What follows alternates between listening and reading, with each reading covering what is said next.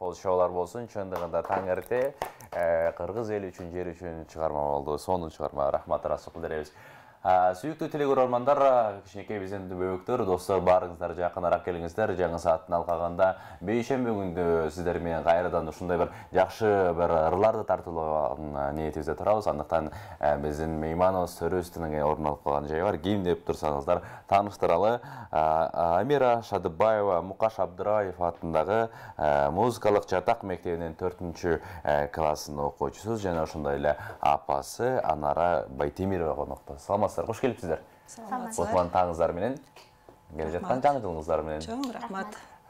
Таңды кандай өзүңүздөр тосуп алдыңыздар деги эле сиз үчүн сиздер үчүн таң деген кандай бир мааниге ээ абдан жакшы маанай менен тосуп алдык негизи ар бир таң бизге кудайдан берген чоң белек ар бир таңды тосуп алыш бул бизге абдан жакшы белек э өзү эле бүгүн жакшы маанайда туруп келдик кызым экөөбүз.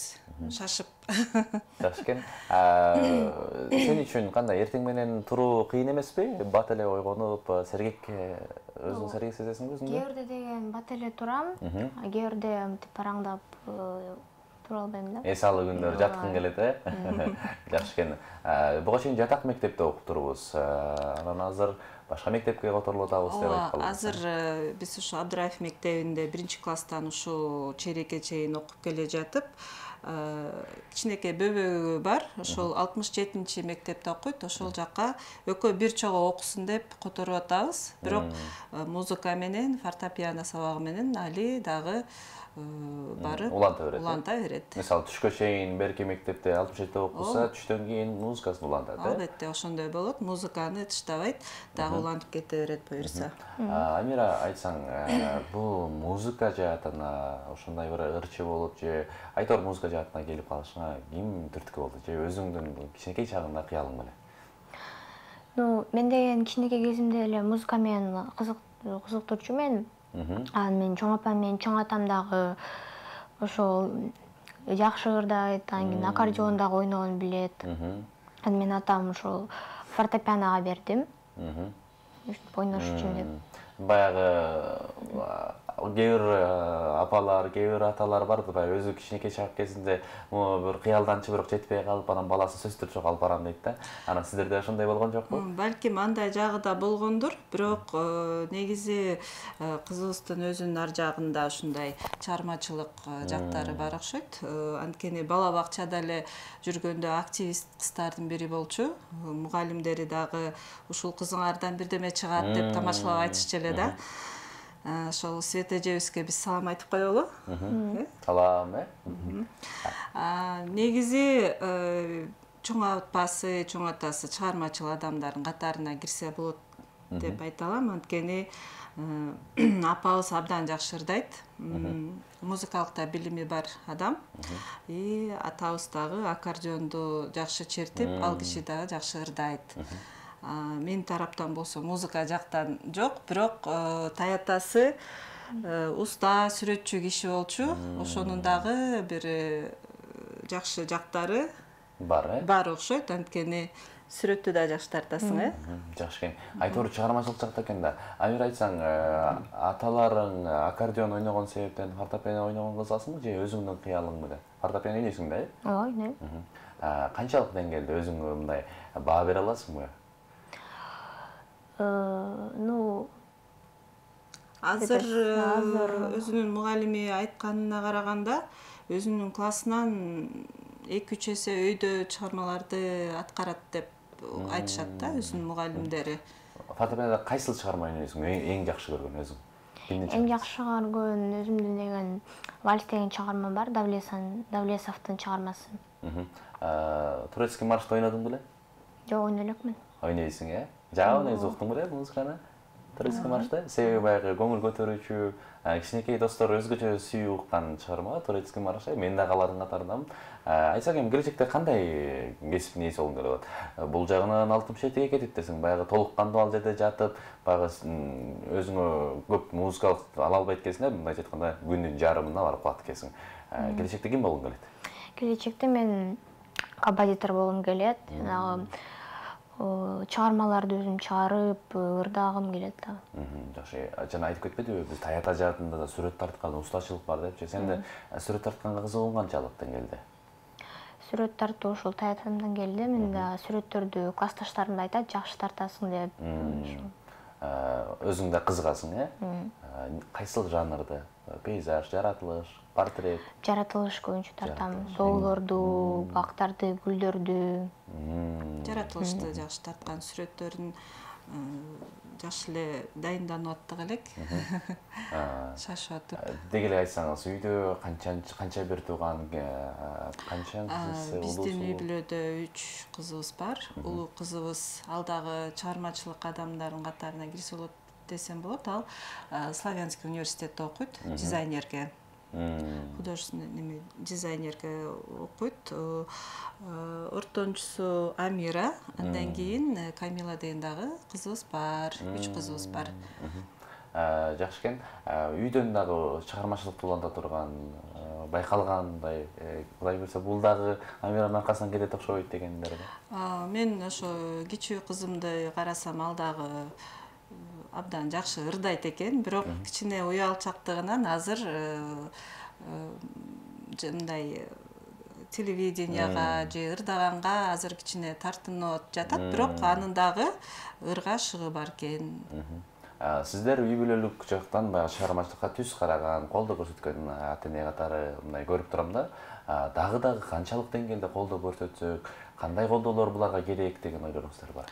Биз эми ошо колубуздан келген аракетибизди жасап жүрөбүз. Э, э, амира э, наргиза абдыраева жетектеген жылдыз тобунда солисткасы.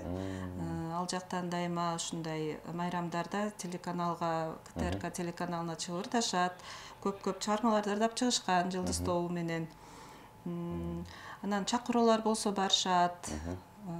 Мекемелер чакыроолор болсо жаңы эле э, кечээ эки үч күн мурун эле бир мекемеге барып тобу менен ырдап келишти ал жактан жакшы белектерди алып келишти. Буларга кандай болсо дагы бир э, кичине болсо да стимул берели дегенге аракет кылабыз. Жакшы экен. Э, амир айтсаң үйдө коноктошкондо кызым ырдайт деп э, ким апаң айтабы же апаң айтабы кимиси атам айтат атам айтат мына кызым ырдап калат деп эле чыгара береби сага канчалык деңгээлде ошол жагат мага кээ бирде жакпай калат да анткени ушинтип ооруп калам анча эмес конокторду деле чакыра береби Э, негизи эле той астында эл астында ырдаган сен үчүн баягы ырдагандан кийин кичинекей баягы сага сыйлык катары акчаларды кыстарышат ошолор сага жагабы же кереги жокпу? Өө, жагат.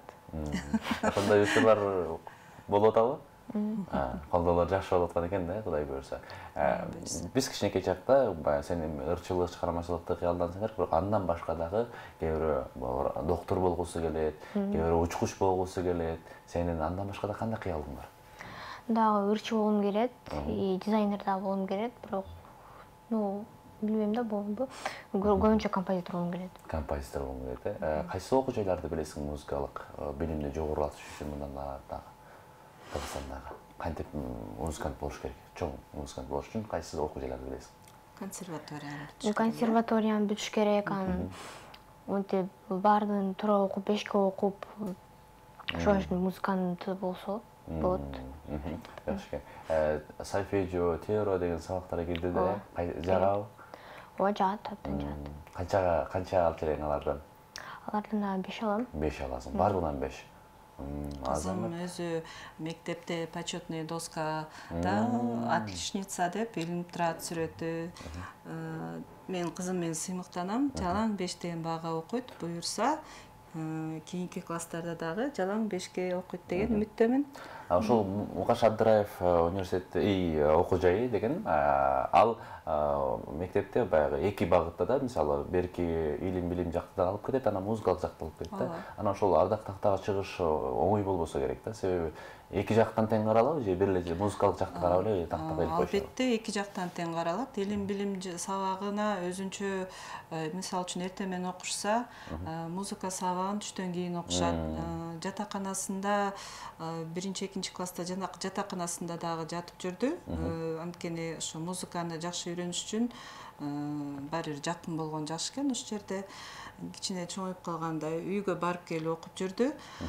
А, эки жак өзүнчө э, бааланат баасы албетте. Э, мен амира эжеси дагы мактайт. Э, буюрса келечекте. Ушул негизи эле баланын э, кичинекей бир жакшылыгы үчүн жакшы бир жакшы кыз деп айтып койгон үчүн эле сөзсүз түрдө өзгөчө сүймөнчүк э, берет да баягы ыраазычылык билдирет өзүң ыраазы болуп каласың. Амир айсаң ошол жатак мектепте кандай кызыктуу окуялар болду эле эстей аласыңбы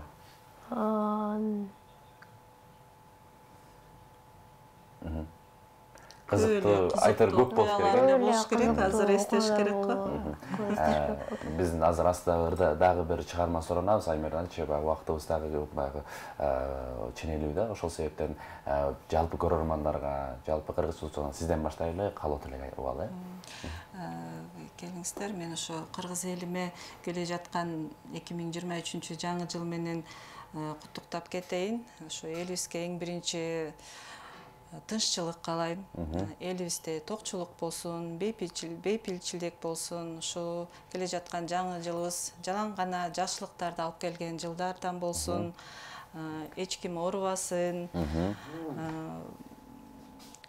биз каалагандай жылдардан болуп берсин. Рахмат айтканыңыз келсин эми жаштын тилегин берет дейт амира кел. Сен дагы бир эки ооз сөз каалоо тилек эле куттуктайм. Келе жаткан жаңы жылыңар менен эки миң жыйырма үчүнчү жаңы жылыңар менен. Э, жакшы окуу окуйлуу жакшы окуйлуу бактылуу балдар дагы куттуктайм балдар оорубасын апалар оорубасын э оорубасын айтканың келсин Эч ким рахмат. ыраазычылык билдиребиз э, сиздерге өзгөчө. Азыр эми микрофонду алалы сенден дагы бир чыгарма сураналы Э, туруп туруп бир жакшы э, кыргыз элине чыгармаңды тартуулап берип кой э